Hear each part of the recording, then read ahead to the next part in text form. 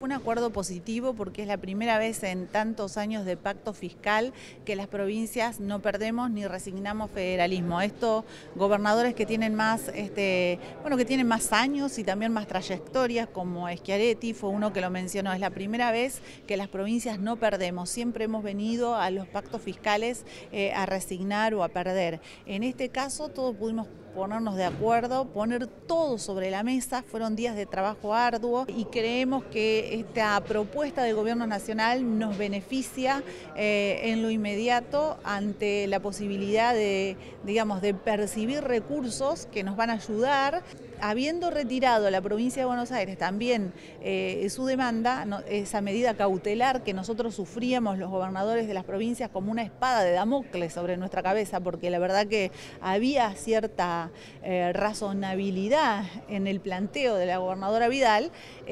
habernos sacado eso de encima nos lleva a nosotros a, tener cierta tranquilidad en el sentido que nosotros también renunciando, y son muchas las provincias que, vamos a, a renunciar para poder percibir este, este beneficio y tener recursos este, en lo más inmediato.